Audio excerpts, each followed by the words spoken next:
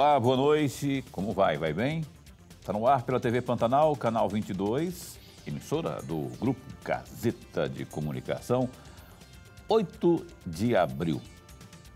Então, rapaz, hoje feriadão e mesmo assim cá estamos nós apresentando mais um programa é, Opinião. Hoje, 8 de abril, você sabe que não é um dia qualquer, mas é, a gente trabalha até para homenagear nossa querida Cuiabá. O que seria da capital de Mato Grosso sem o trabalho, a força laboral, não é? Cá estamos nós, parabéns à nossa querida capital do estado de Mato Grosso, 305 anos, certo, professor Lemberg? 305 anos, o Lemberg nem era nascido naquela época ainda, né? Você tem ideia como é que faz tempo isso? Olha, falando muito sério, eu quero desejar aqui uma, ao povo de Cuiabá, quando eu falo de Cuiabá, falando da população, né? da gente cuiabana, essa gente maravilhosa. Eu não sou cuiabano, né? Eu sou Mato Grossense, mas não sou cuiabano. Mas o bom de Cuiabá é o povo. Tem as tradições também, não é? Tem o pete, tem uma série de, de tradições, a questão cultural propriamente, mas o povo cuiabano é maravilhoso. Eu não vejo, eu sei que tem o povo baiano, o povo lá do Ceará, o povo do Nordeste como um todo, o povo lá de Minas, que é bem hospitaleiro, mas o cuiabano, presta atenção, nego, é algo assim fora, de, fora do comum. Gente boa, bonachão, bom vivan, como dizem lá no, no sul, né?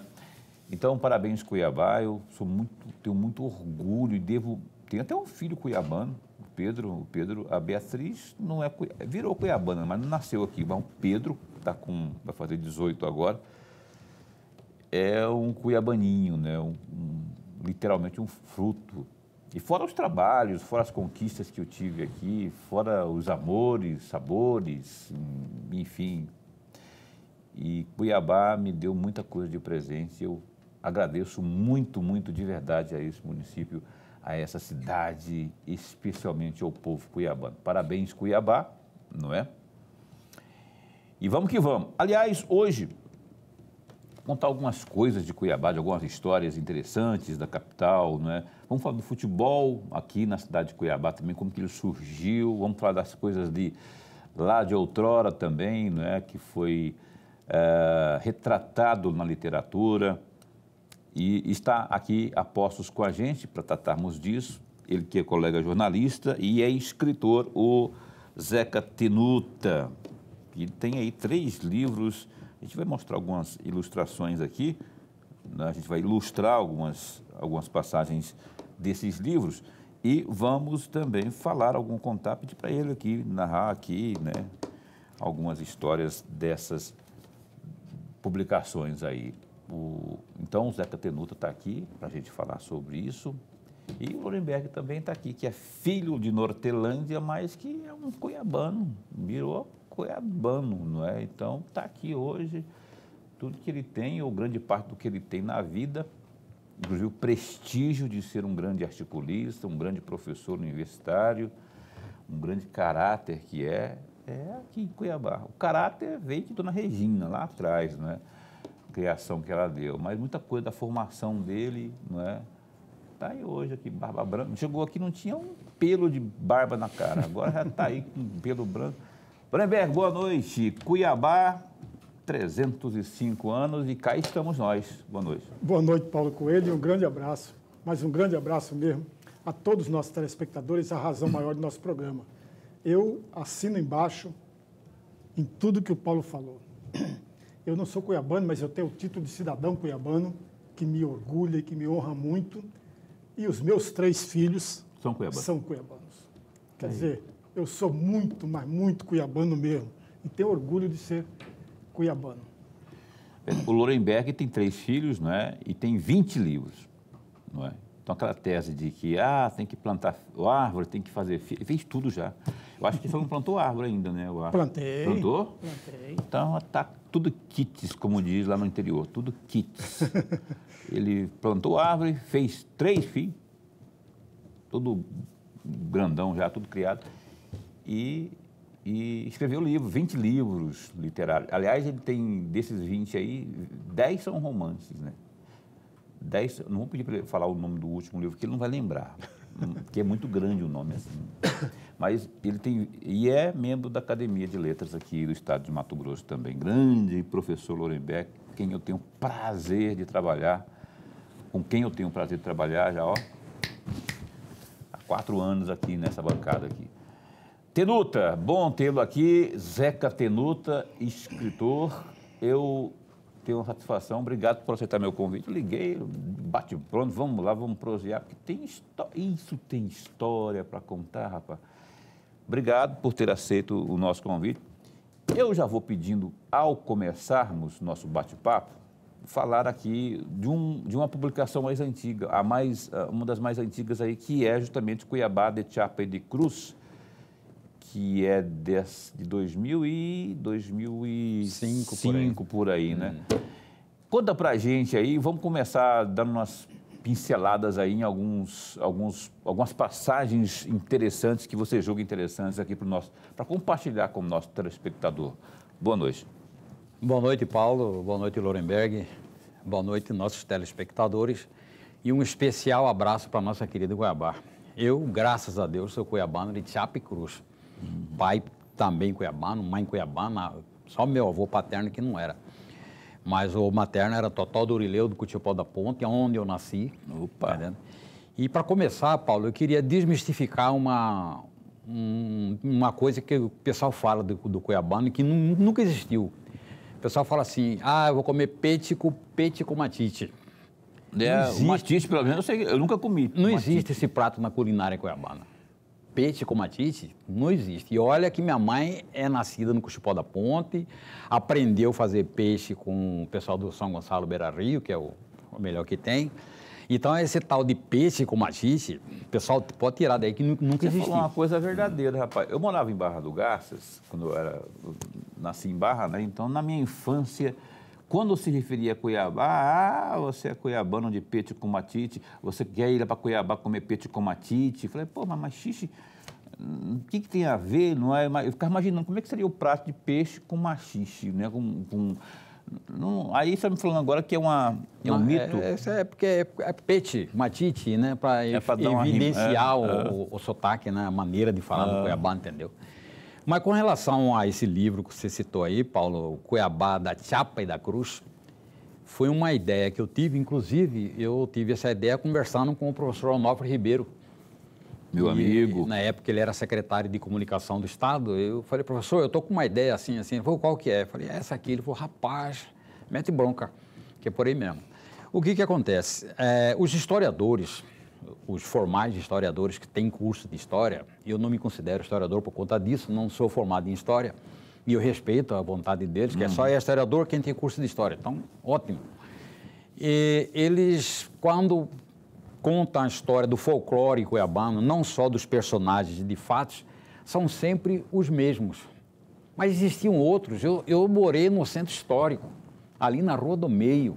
Hum, eu vi personagens fantásticos ali naquela rua do meio. E eu, a, os historiadores esqueceram deles. Eu falei, eu vou trazer esse pessoal tudo para um livro. E fatos também. Está entendendo? E comecei a desenvolver o projeto e fui me entusiasmando. No final, eu consegui catalogar 132 personagens e fatos esse livro eu fiz mais por diletantismo. Personagens reais? Reais. Reais eu, eu conheci. Tem nenhuma invenção na sua cabeça. Não, né? não, Tudo não. não. Esse, inclusive, muitas pessoas que viram esses personagens estão vivos até hoje. Né? Contemporâneos né? a, você ou não, ou, ou não, né? Não, eu era criança, né? Ah, tá. Então, eu via, alguns deles já vi. Não, porque você pode também ter retratado personagens da antiga que não foram alguns, no seu tempo. Alguns. Meu pai conheceu, ah, minha família conheceu, mas a maioria eu vi. Entendeu? São pessoas da, da da metade do século XX para frente, entendeu? Uhum. E um dos mais sensacionais que eu, que eu, lembrei e que fez o maior sucesso no livro foi o Mitidinha. Uhum. No linguajar cuiabano, Mitidinha. Ele era efeminado, afeminado, e andava com a, o cos da calça aqui em cima e com leque, entendeu? Tipo, já, tipo Gegé? Não, Gegé era mais sofisticado, né? Gegé era outro departamento. É. E esse mexidinho, ele percorria a rua do centro, é onde tinha aquelas casas que vendia disco, que tinha som na porta uhum. para fazer a divulgação. A hora que tocava a música, ele ficava dançando ali na frente. Mexendo, da, né? Na frente Daí o apelido. É. E a gurizada falava, gritava, mexidinha, ele dava uma rebolada. Ah, tá entendi. Entendendo? E era ferrenho torcedor do Dom Bosco. Ei, perdia um jogo do Dom Bosco. Tá entendendo? E passado o tempo, depois que o livro saiu, eu recebi um telefonema de um amigo meu, da família Praeiro, Adelino Praeiro, Aristotelino Alves Praeiro, falou, Tenuto, eu quero falar com você, você tem um livro assim, assim? Eu falei, tenho, traz aqui em casa para mim. Aí cheguei lá, me apresentou para a mãe dele, a mãe dele pegou, quando viu a história do Mexidinho, ela se emocionou. Eu falei, mas por quê? Ele falou, não, que ele, a mãe dele morava aqui na minha casa, oh, nós que criamos Deus ela. Ela era cozinheira nossa aqui. E ele criou aqui dentro. E eu não sabia. E o livro, Paulo, teve um sucesso astronômico que em menos de dois, três meses vendi tudo. Tá entendendo? O pessoal comprou e até hoje o pessoal me liga, quer saber do livro. Eu falei, cara, já esgotou, eu não, não tenho mais. Está na editora. Se quiser conversar com o pessoal da editora para editar alguns volumes, porque por incrível que pareça, o, o arquivo do livro passa a ser de, de propriedade da editora, né? E outros personagens que existiram na, na, em Cuiabá, que eu conheci, por exemplo, um que eu acho bastante interessante, aqui tinha o deputado Augusto Mário Vieira. E ele uhum. tinha um programa, era, ele era jornalista também, ele tinha um programa de notícias chamado Bandeirantes no Ar. E tinha um, um personagem meio maluco, que quando o rio Cuiabá enchia, na época que a ponte tinha os arcos, a ponte do Cuiabá tinha dois arcos. A ponte nova que você fala ali. Não, né? a ponte é velha, a primeira. A primeira? Que vai para Várzea Grande, ali no, ali no porto. Pois é, aquela é, aquela é ponte nova. É para Júlio não, Miller. É ponte, a ponte nova é de cima. Uhum. Essa ponte tinha dois arcos no meio dela. E o rio enchia que chegava a, a passar ali na, na, na, na, onde, na, na parte de cima. Esse indivíduo subia lá no arco, de lá ele pulava, gritava, Tarzan bandeirante no ar e mergulhar dentro d'água. Tanta mãe Olha o risco Cristo. deles, é aquilo, a tal do pau Nunca rodado. Nunca teve né? problema nenhum. Nunca né? teve problema, entendeu? Então, eu conheci Maria Perna Grossa. Ela era uma mística que ela fazia, ela fazia de tudo. Fazia mandinga, fazia, benzia pessoas de, de, de arca caída, ela fazia é, trabalho, qualquer tipo de trabalho, fazia é, garrafada, entendeu? Uhum. E tinha um, ela ficava ali na, na no, no, no, no, na prainha, lá no fundo, lá na, na beira da prainha, ali descendo quem desce a rua Campo Grande, no final da Campo Grande, na prainha para a direita, era que ela tinha a tenda dela, né? E olha, e fervia. E era comum, era comum filhos de médico ir lá benzer. O próprio médico mandava o filho dele ir lá benzer com uhum. Maria Perna Grossa, arca caída, quebranto, que não tinha remédio. Tá entendendo? Entendi. E era um, uma personagem que ia passar batido. E eu resgatei e coloquei. Na história, né? É, na história. Existia um, um, barbeiro aqui chamado Alberto. Ele andava de sapato branco, calça branca, camisa branca e óculos escuro. E ele era meio índio. O pai dele era um dos, um dos que acompanhava Rondão, nas, nas andanças uhum. de Rondão. O pai dele era um dos assessores de Rondão. Uhum. E como ele era meio índio, o cabelo dele era liso e preto. Ele passava brilhantina, penteava e saía numa moto, andava só de moto. Ele tinha duas motos Norton, aquelas uhum. grandonas, e circulava pela cidade. E era o barbeiro da elite. Ele tinha barbearia primeiro onde era o antigo Centro América Hotel, que depois derrubaram, infelizmente, derrubaram um prédio espetacular daquele, uhum. para construir esse caixão lá onde está Riachuelo. Depois, Ali era o Centro América? Centro América Hotel. Aí, aí ele mudou para o Grande Hotel, que era onde a elite frequentava. Ele tinha o salão de barbearia dele ali. Era o cara, era o cara é. da cidade. Né? Deixa eu só chamar o Lorenberg para a participação inicial dele neste bloco, para a gente tem, esmiuçar alguns outros assuntos aqui. Antes de mais nada, registrar nossa alegria. É sempre bom mesmo bater papo e tê-lo aqui no nosso bate-papo. Obrigado. Eu vou, eu, eu vou provocar o senhor, e provocar sempre no bom sentido, para explorar um pouco mais as suas andanças é. por Cuiabá. Eu tenho aqui um trecho da fala do senhor que eu encontrei num site da capital no dia 8 de abril de 2019. Hum. entre aspas, a Rua Ricardo Franco, conhecida como Rua do Meio, não existia. Tinha apenas a Rua de Cima e a Rua de Baixo, hoje chamadas de Pedro Celestino e Galdino Pimentel. Então, os fundos dos casarões se encontraram na Rua do Meio. Os escravos saíam por ali para atender às ordens dos patrões. A história e a cultura são feitas de detalhes. O que mais me chamou, marcou, é, me marcou é, durante todo esse tempo da, de vida foi o processo de transformação da cidade. Fecham aspas. Eu tenho duas perguntas, fazer as duas juntas. O senhor fala de processo de transformação da cidade. O senhor poderia comentar rapidamente esse processo de transformação da cidade de Cuiabá e, sobretudo, do, do centro histórico da cidade? A segunda questão, o senhor fala do, da, que a história e a cultura são feitos de detalhes. Pode falar um pouco desses detalhes? Ah, a, na sua primeira pergunta, só fazendo um recorte da Rua do Meio, já dá para explicar o processo de, de, de, evolução da cidade. A Rua do Meio, os casarões da Galdino Pimentel e da Pedro Celestino davam lá para o fundo. E na época da escravidão, todo mundo tinha escravo. Não tinha água encanada, não tinha fogão a gás. Então, as casas precisavam ser abastecidas de água e lenha. Os escravos saíam por ali e em busca de água ou de lenha. A água buscavam aqui no, no, no chafariz do Mundel, do Mundelzinho, entendeu? E com isso formou-se um trieiro ali, o pessoal saía por ali. E ali se chama, o nome primitivo dessa rua era Rua das Pretas. Então, com o processo evolutivo ali, logo se transformou numa rua, que é hoje a Joaquim a, a, Ricardo Franco. Ricardo Franco entendeu? Então, a cidade, ela, ela, vai, ela vai se adaptando a novas situações com o tempo, com o passar do tempo. E eu, graças a Deus, eu peguei aquela Cuiabá bem prosaica, bem provinciana mesmo, e assisti a mudança que ocorreu, principalmente da, da década de 70 para cá.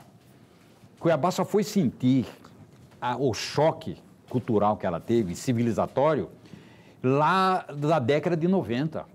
Eu digo para você por quê? Porque até 1990, 90 e pouco, eu andava pela cidade, eu em companhia de Roberto Lucialdo, em companhia de outros violeiros, fazendo serenata. Até altas madrugadas a gente saía andando. Não, não existia. A violência é um, é, um, é, um, é, um, é traço de evolução, infelizmente. A gente andava a pé para a cidade, chegava no final da noite, cada um ia para sua casa e não acontecia nada. Nunca aconteceu nada.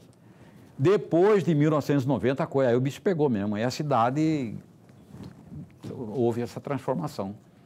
Que, infelizmente, eu até um dia falei para a Mara Carnevale, que foi minha colega, ela falou assim: ah, mas Cuiabá só foi melhor depois que os migrantes vieram para cá. Eu falei: olha, eu vi as duas cidades e eu prefiro a outra.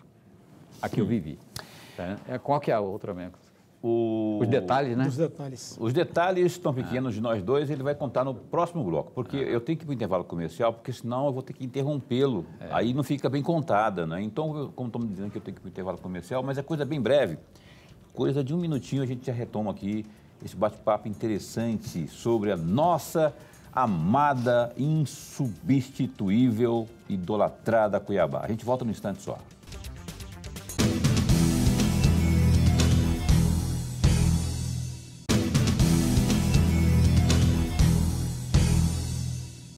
Estamos de volta, programa Opinião, aniversário de Cuiabá.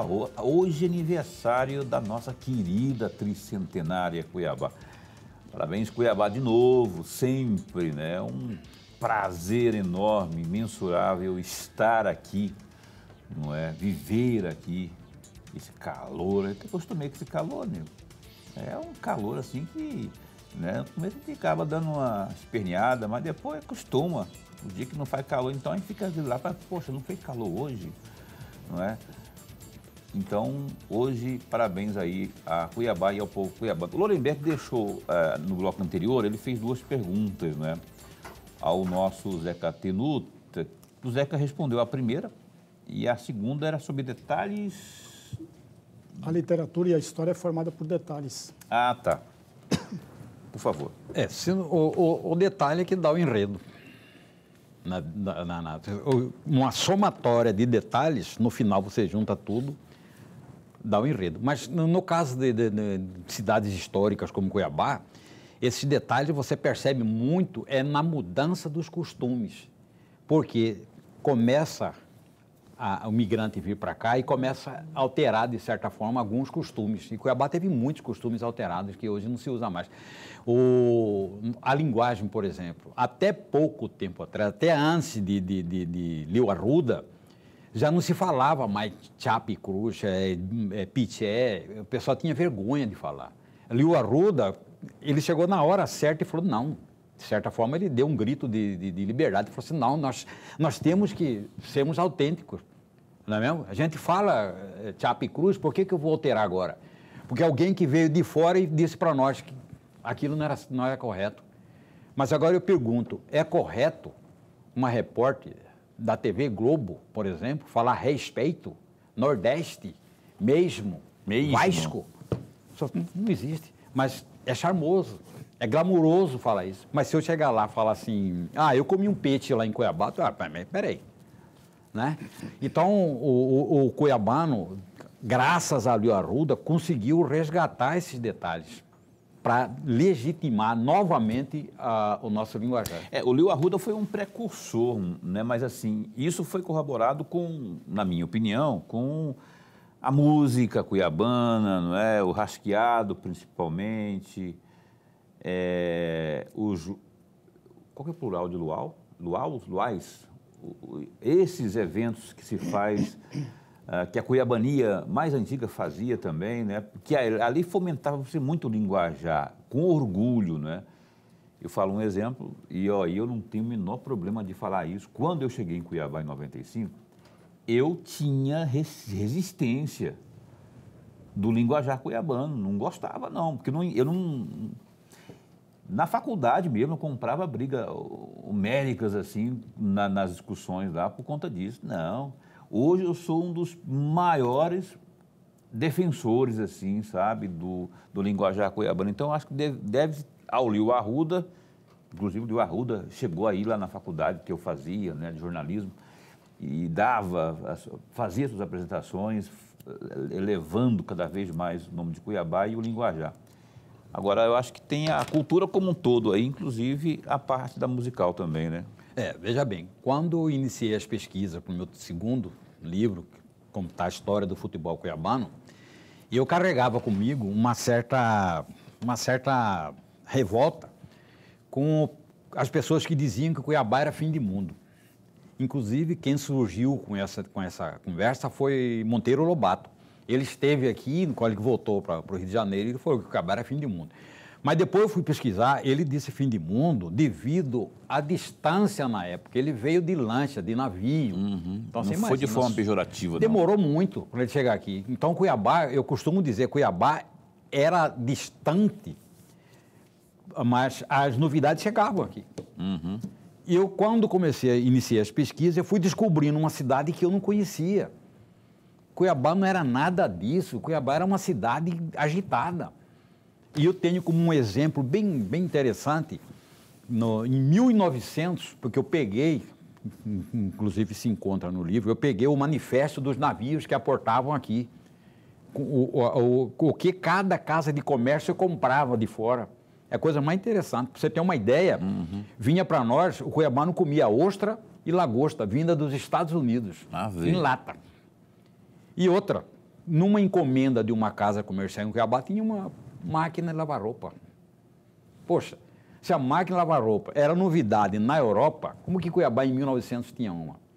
Então o pessoal aqui, ele era antenado com as coisas. Que os filhos dos, dos, dos abastados daqui iam estudar no Rio de Janeiro, São Paulo.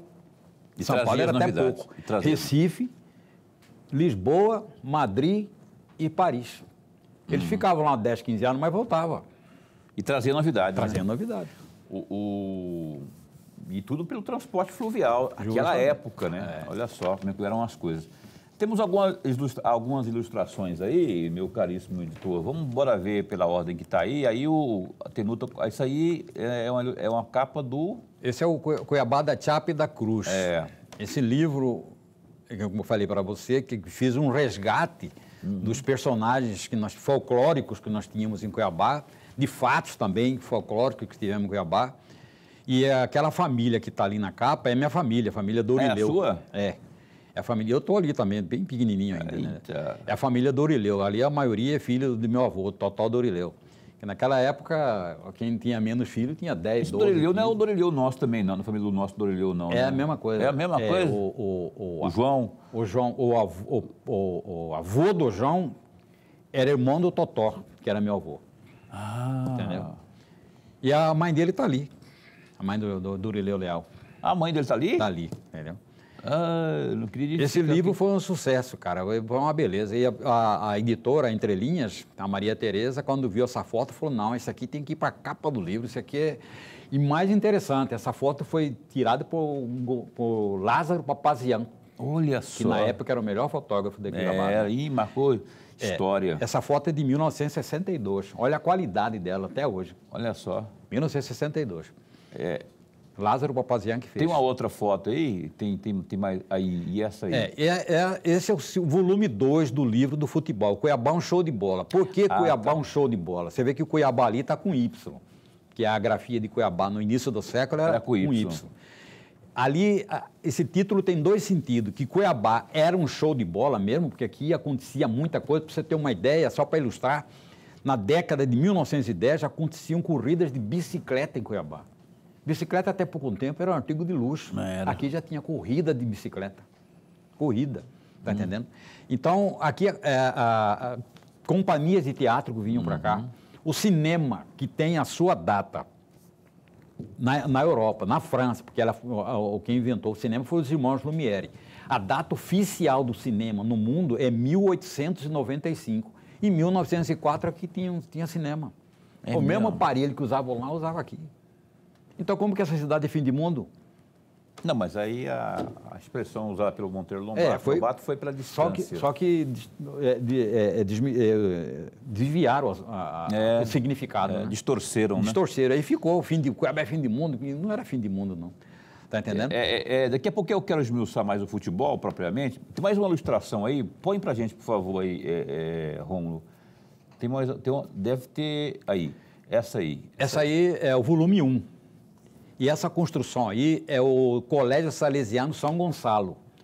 Por que, que essa foto está aí? Porque as duas primeiras bolas que vieram para Cuiabá vieram pelas mãos do, do bispo salesiano Dom Antônio Malan. Isso em 1905. Hum. O finado William Gomes, colega meu vocês, amigo, pois é, gente boa, ele me ajudou muito na confecção desse livro. E ele falou, Zeca, eu tenho lá em casa um documento que prova que essas bolas vieram em 1905. Infelizmente, nesse, nesse dele me trazer o documento e eu ir buscar, é, ele faleceu. Uhum. E eu não consegui. Eu falei, então eu não vou, eu não vou colocar esse fato no livro, porque tudo que está no livro está é referenciado, é. tá? Da onde que eu consegui. Tem, não tem nada é, da cabeça. Tem, é. Futebol, você sabe, né? Cada um puxa a brasa é, com sua sardinha. É. Aí, a fonte, né? É, eu estive no Colégio Dom Bosco, em Campo Grande, buscando informações sobre o Clube Dom Bosco, eu vi essa foto na mesa do, do, do rapaz lá, do, do, um atendente lá, e falei, e essa foto aí? Eu conheci pela, pela arquitetura, uhum. ele falou, essa aqui é do colégio de vocês, lá em Cuiabá. E se você olhar bem, lá embaixo tem um guri com uma bola no pé. Dá para perceber? É, está meio distante, uma, mas... É, é, E a foto é de 1905, ou seja, e você vê, vê daqui lá tem uma bola. Provavelmente é a bola que Dom Antônio Malan trouxe. Dom Antônio Malan. Isso. Olha só que coisa maravilhosa isso, né? Vamos esmiuçar mais essa questão do futebol, né? Que a gente está falando dos livros propriamente, já falamos do primeiro, já apareceu o segundo também aí. E, e Lorenberg, por favor.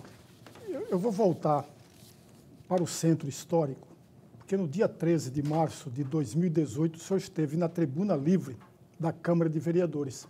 Uhum. E na oportunidade o senhor fazia referência à potencialidade turística do Centro Histórico de Cuiabá. Foram mais de seis anos de lá para cá. Mudou alguma coisa?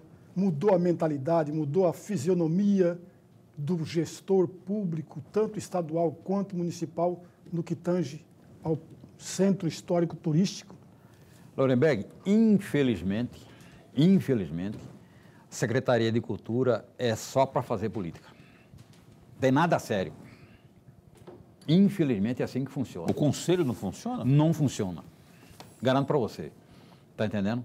A, a, a, o centro histórico, e eu já me, venho me batendo isso há muito tempo, e eu tenho uma, uma reunião que nós tivemos lá no CDL, e eu falei sobre isso. O centro histórico, a vocação dele hoje é outra. Não adianta insistir com o centro histórico, o que o pessoal quer fazer, voltar ao comércio do centro histórico. Como? Você vai deixar de ir no shopping com ar-condicionado, com uma oferta diversificada de, de, de comércio, para ir no, no, no, centro histórico, andar fazendo compra ali. O centro histórico só tem uma saída. É o que outros estados estão fazendo e já fizeram. Turismo. Turismo. Preparar o centro histórico para atrair o turista. Agora, como é que vai fazer isso? Tem que sentar e conversar. Não tem outra alternativa. E a cada dia que passa, ele vai deteriorando cada vez mais. Não existe uma política direcionada só para o centro histórico. Deveria existir. Não uhum. tem. Não tem. Incentivos, só... alguma é, coisa assim, né? Quando, quando a Carlina assumiu a secretaria, que foi mexer lá no Beco do Candeeiro, ela me chamou lá para ir lá e falei, Carlina, isso aqui não vai dar certo. Você não constrói casa da, do, do telhado para baixo. Constrói? Eu nunca vi. Na cultura aqui, o pessoal quer construir casa do telhado para baixo. Tem que ter o alicerce, né? Entendendo? Então, o centro histórico, se não tomar atitude... Por exemplo, eu, eu, eu, o vereador Lilo, Lilo Pinheiro fez um, uma audiência pública sobre o lixo aéreo, que é esse pendurado aí. Ele é lixo mesmo.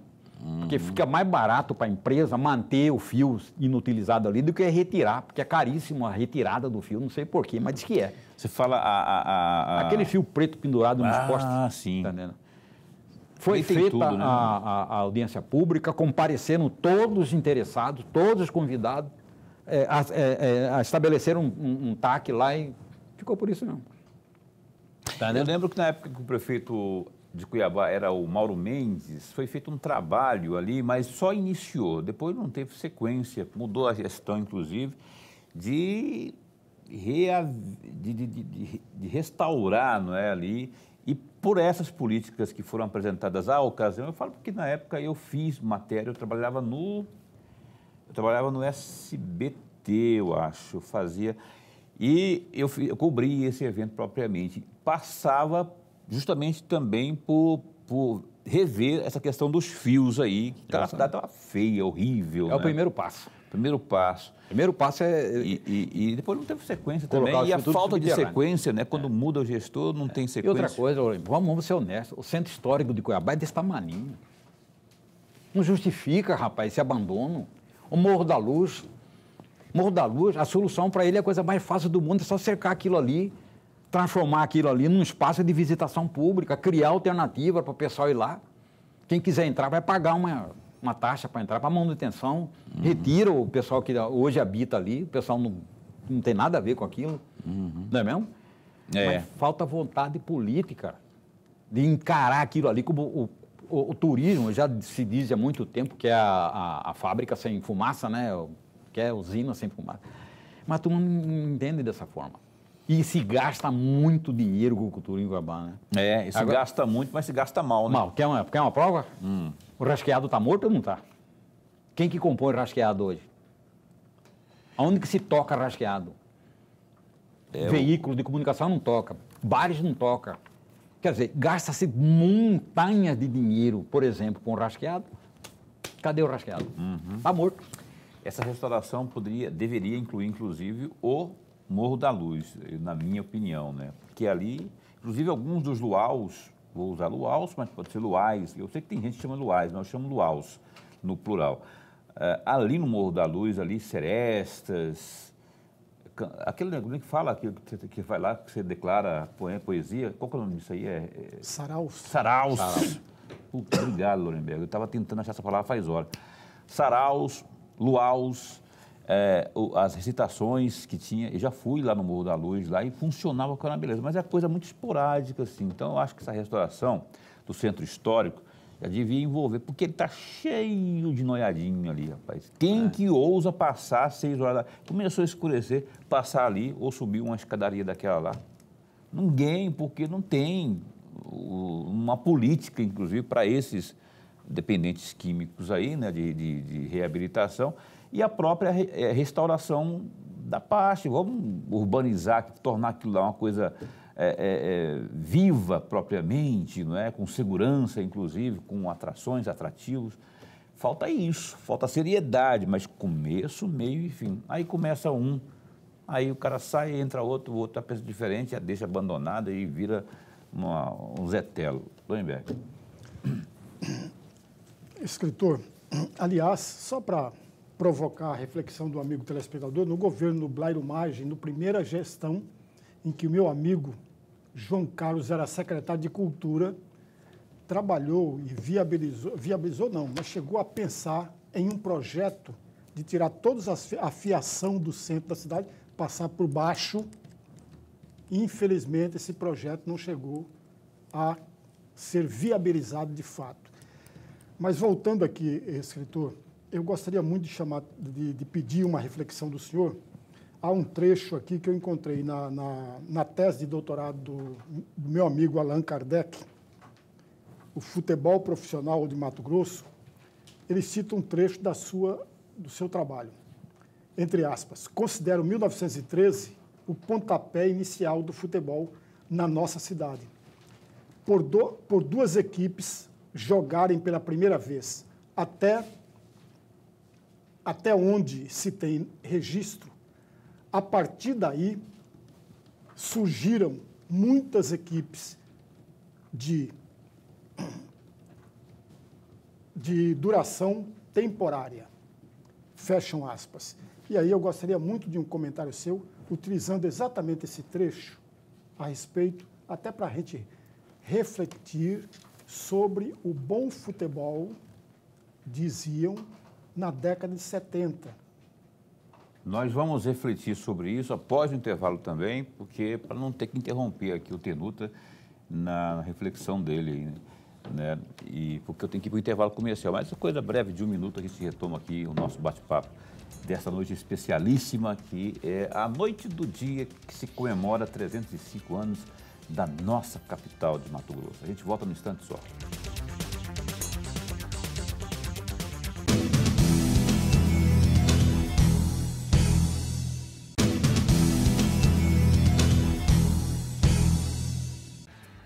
Ok, a gente retoma aqui nesta noite. O Zeca Tenuta está aqui. O Zeca Tenuta, ele é jornalista também e é escritor, rapaz. Tem algumas publicações importantíssimas aqui para o contexto cuiabano, né? Que retrata a vivência desse povo maravilhoso, dessa cidade maravilhosa, é, que é Cuiabá, que hoje está completando aí 305 anos. E o, o Zeca está aqui o Lorenberg deixou uma provocaçãozinha no bloco anterior, já sobre o futebol, né? E eu acho que você lembra do que ele perguntou. Por favor, então, fazer uma. discorrer sobre a, a provocação do, do, do, professor. A época aura do, do, do, futebol foi exatamente nessa época que ele citou ali? É. Só aproveitando para fazer um merchan. Por favor. É, o que existe de arquivo do futebol cuiabano hoje é isso aí. Está nesse livro, que não existe mais. A federação não tem. Não tem. Não tem. Então, oh, se você Deus quer saber a oh. origem, a história do futebol cuiabano, está nessas publicações. Mas, professor, em 19... por que, que eu digo 1913? Eu descobri que antes, em 1909, já existiam times organizados. E um deles era o Esporte Cuiabano Clube. Esporte com S e Clube com B mudo. Era tudo, era, era é tudo em inglês. Mas eu não, existiam outros, mas eu não encontrei. Eu fiz, é, aprofundei nas pesquisas, mas só encontrei esse, de 1909. Em 1913, através de, de Leovigildo de Melo e professor Gustavo Kuhlmann, que tinham vindo de São Paulo para fazer uma implantação de um novo sistema de ensino em Mato Grosso, e juntamente com o pai de Roberto Campos, é aquele que foi senador, vieram três, esses três professores. E o Leovigildo de Mello e o Gustavo Kuma eram apaixonados por futebol. O Leovigildo fundou um time chamado Cuiabá, que é o, Cuiabá que está na, na capa do livro, com Y. E o, e o Gustavo Kuma fundou o Internacional do Porto. E tinha um, um dentista baiano que vinha de vez em quando em Cuiabá para fazer trabalhos de, de, de, de odontologia. Aí ele saía percorrendo o Brasil. E ele estava essa época em Cuiabá. O nome dele era Floripes, o seu Floripes, não me lembro de direito. Ele falou, pessoal, vamos fazer o seguinte, vamos fazer um campeonato com dois times só. A gente faz três jogos. E foi feito o campeonato Cuiabá, Cuiabá Internacional. Parou a cidade, lá no Campo Duri, que é onde hoje está a Câmara de Vereadores de Cuiabá. O governo do Estado se interessou e o governo do Estado, porque viu que ia dar público, patrocinou tudo. E o governador da época era o doutor Joaquim Costa Marques, e um irmão dele, se não me engano, havia jogado no Paulistano em São Paulo. Então ele se interessou pelo, pelo evento e foi um sucesso. Foram três domingos, três jogos. Depois de 1913, novamente aconteceu um hiato que eu não encontrei mais nenhuma atividade. Mas a partir de 1914, começou a aparecer uma série de times em Cuiabá, River, América do Sul, Sul América, Pátria, é, Riachuelo, não aquele Riachuelo que nós vimos, mas um Riachuelo mais antigo. E o Exército, que era o 16º Batalhão de Caçadores, começou a participar também com um time chamado Pátria. E deu uma certa organizada na coisa. Nós não tínhamos campo de futebol específico para futebol, jogava-se no, no, no, campo do Urique, jogava aqui na, na, na, no Sesc Arsenal, onde está o Dutrinha, tinha, tinha um campo também mas não era nada oficial, não, não obedecia às regras da FIFA, entendendo? E os times eram efêmeros porque eram times de coronéis políticos. Então, enquanto o time estava atendendo o interesse dele, existia. A hora que não entendia mais, ele acabava com o time. Está entendendo? E até 1936, nós não tínhamos ainda um campo de futebol oficial. É, onde a Guiratinga, antigo lajeado, tinha é, Corumbá tinha, Campo Grande tinha, Três Lagoas tinha, Aquidauana tinha.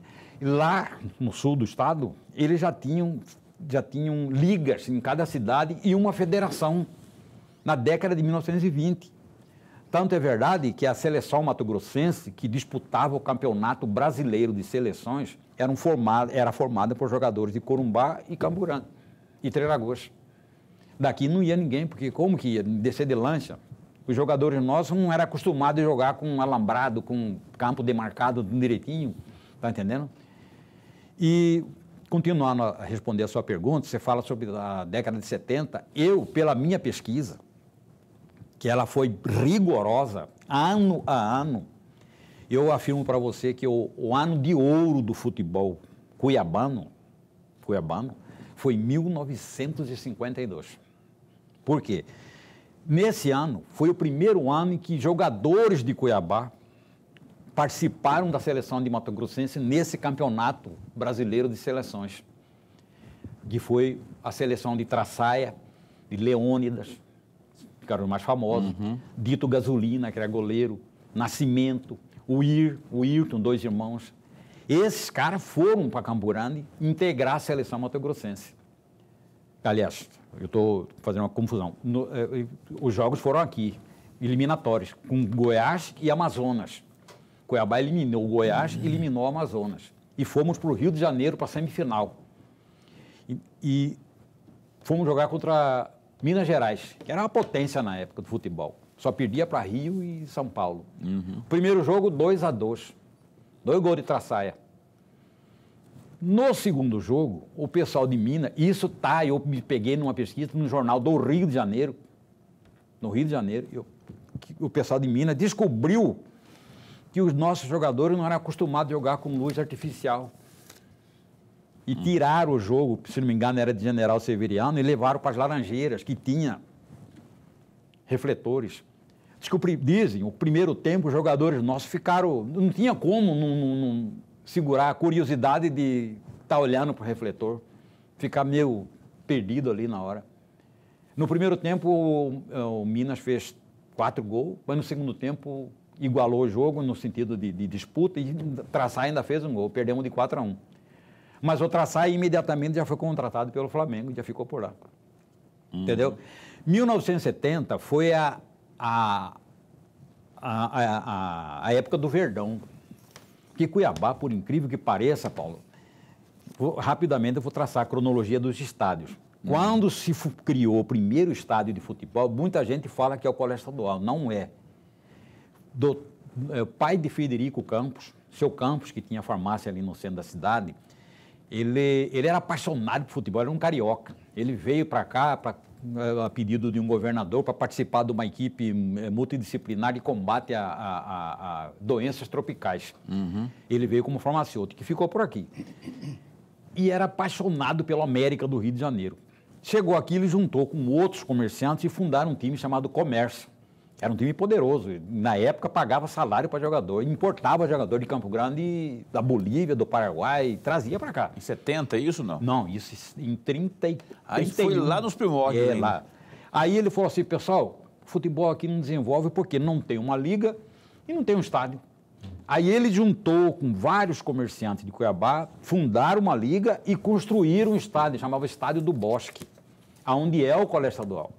Aí com alambrado, com, com vestiários, traves com rede, tudo, de tudo, belezinha, tudo demarcado.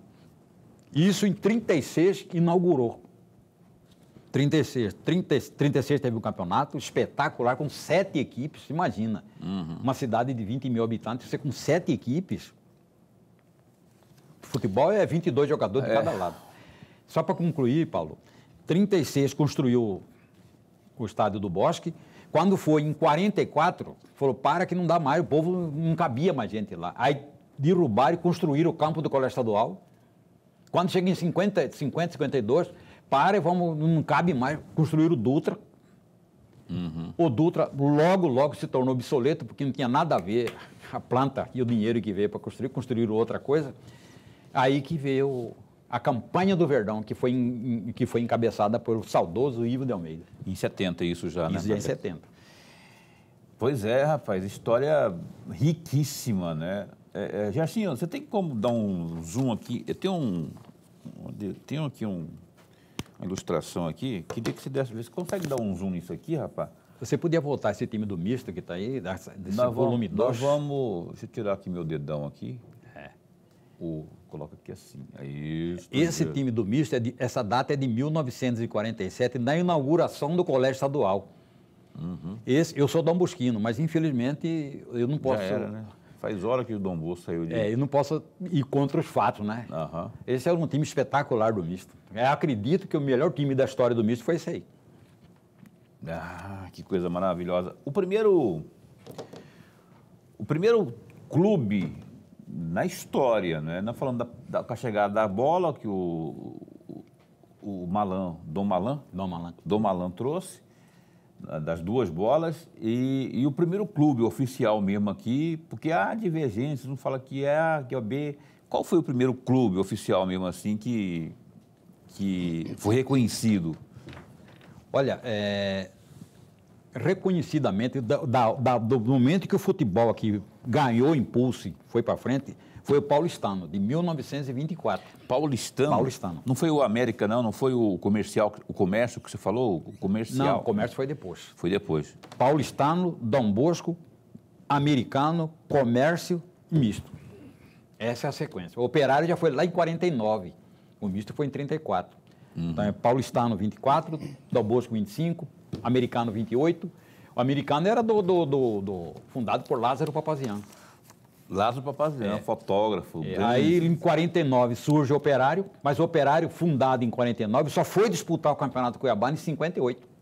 Maluco, o operário é Várzea Grande, não é? Várzea Grande. Então. Mas na época o Várzea Grande era distrito de Cuiabá. Ah, Ainda entendi. não era município. O, quem está assistindo ao programa como, eu- e se interessar, como eu estou interessadíssimo, se eu quiser agora, aquele que está assistindo, que queira saber, é, queira adquirir esse livro do, do, do futebol aí, o que, que ele deve fazer? Você falou que não está disponível nas livrarias, mas tem lá na editora. Se você estiver interessado, você pode ligar para o, eu imagino, para o Liga pra mim que eu providencio.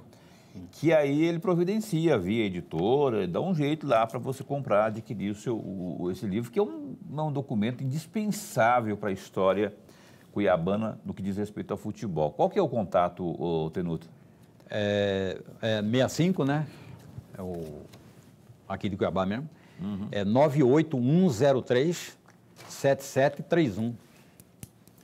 98103 7731. Aí a pessoa me liga, ele dá o endereço eu levo em longe. Porque... Aí, ó, tá vendo? Ah. Dá uma ligadinha lá, que aí o Tenuta vai receber aí sua ligação, a sua, a sua encomenda, e ele vai providenciar para você. Importantíssimo ter esse livro aí. Eu vou providenciar logo, logo, para ter lá na minha estante lá na, pra, pra, porque não tem, nego. Você vai lá na Federação Mato Grosso de Futebol, não tem, devia não, ter. Não tem nada, a história do futebol devia ter. Outro dia, o, o, o, glorioso Allan Kardec, deputado, lançou um livro aí, Futebol de Várzea e tudo mais. Aliás, muitas das informações ele conseguiu junto Comigo. ao. Conseguiu junto aqui.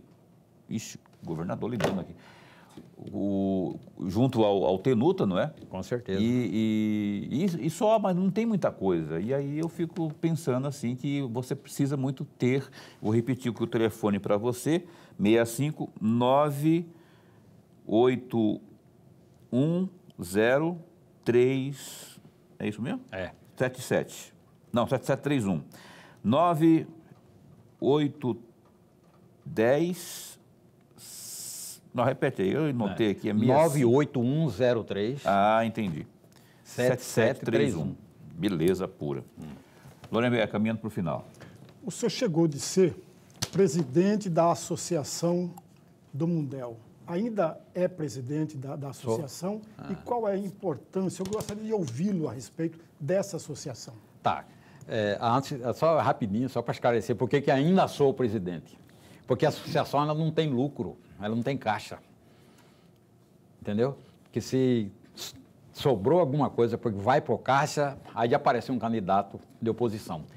O, inicialmente, essa associação ela, ela foi pensada para preservar a, a, a, interação dos antigos moradores do Mundel.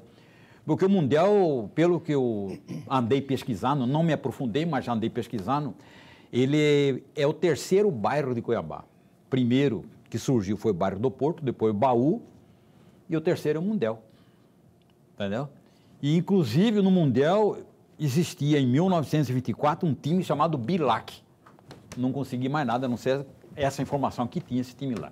Então, a função principal do, do, da associação era resgatar esse povo, porque Cuiabá, com o crescimento, foi o pessoal para o CPA, foi o pessoal para o Tijucal, espalhou todo mundo. Uhum. Então, a gente fazia eventos para trazer esse pessoal de volta.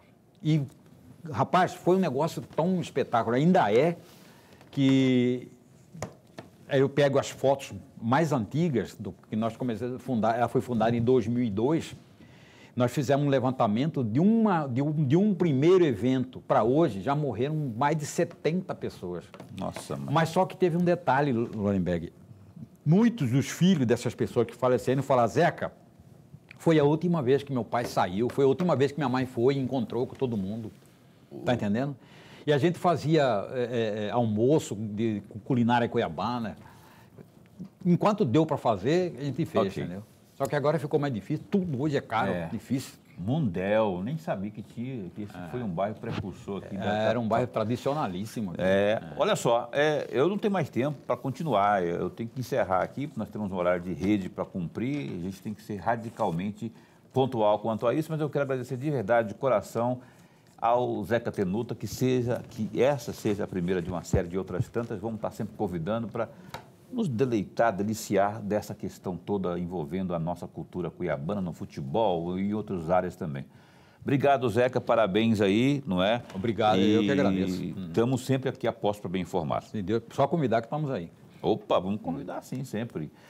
O Opinião fica por aqui, Lorenberg. Amanhã é terça, a gente se encontra aqui. Até amanhã. A reitora eleita, rapaz. Essa disputa foi acirrada lá na UFMT a professora Marlúcia Aparecida Souza. Ela vai estar conosco amanhã, aqui às sete e meia da noite, amanhã, terça-feira, ao vivo, no programa Opinião. Até lá, se cuida, fica bem, fica com Deus também.